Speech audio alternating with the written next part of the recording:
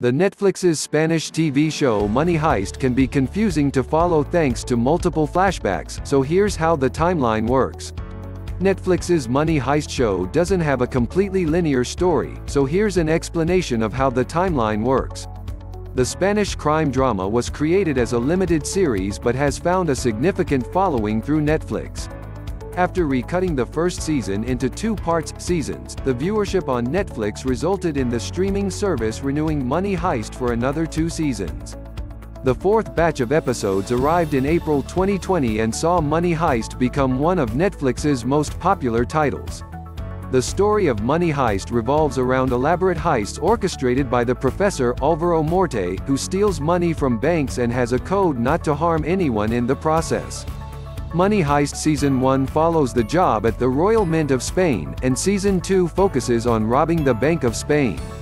Both heists see the professor call the shots as his team of robbers with city-themed code names attempt to stick to the intricate plans but, thanks to the longevity of the heists and various flashbacks, the money heist timeline can be a bit confusing. Before the professor was involved in any heists, the idea to attempt them came from his father.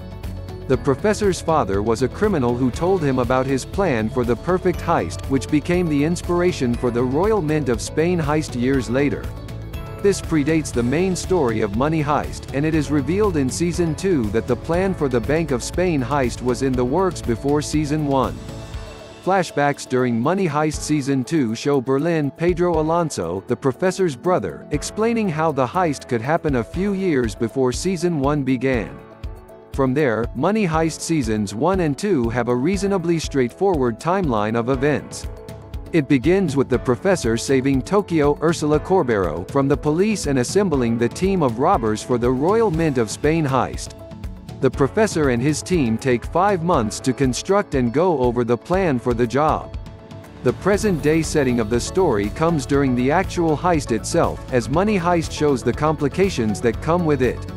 Although the heist is a success, the professor's team loses Oslo, Moscow, and Berlin in the process. The Money Heist Season 3 picks up two or three years after the Royal Mint of Spain heist with Rio captured by Europol. This forces the professor to use Berlin's plan for the Bank of Spain heist with the hopes that Rio can be freed in the process. The professor brings Tokyo, Helsinki, Nairobi, and Denver back for the heist and adds Stockholm, Manila, Lisbon, Bogota, Palermo, and Marseille to the team.